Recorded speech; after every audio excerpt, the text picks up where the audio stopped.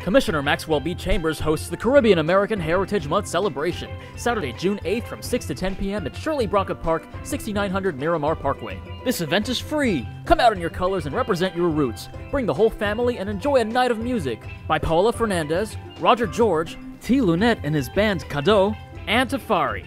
You don't want to miss this one the Caribbean American Heritage Month celebration. RSVP at cahm.eventbrite.com.